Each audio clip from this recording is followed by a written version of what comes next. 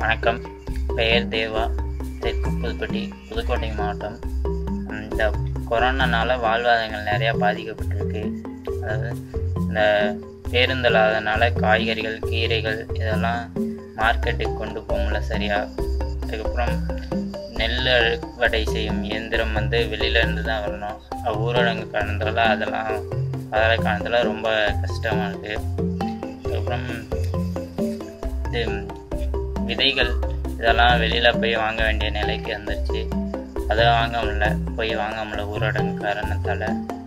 அப்புறம் உணவு இதெல்லாம் ஒழுங்காக கிடைக்கல. காய்கறிகள் இதெல்லாம் சில பேர்த்துக்கு ஒழுங்காக கிடைக்கல. அதனால் அதுக்கப்புறம் பார்த்திங்கன்னா இதில் இந்த காரணத்தினால நமக்கு தேவைகள் வந்து நான் இயற்கை விவசாயம் செய்கிறதுனால எங்களுக்கு அதிகமாக தேவை எதுவும் இல்லை.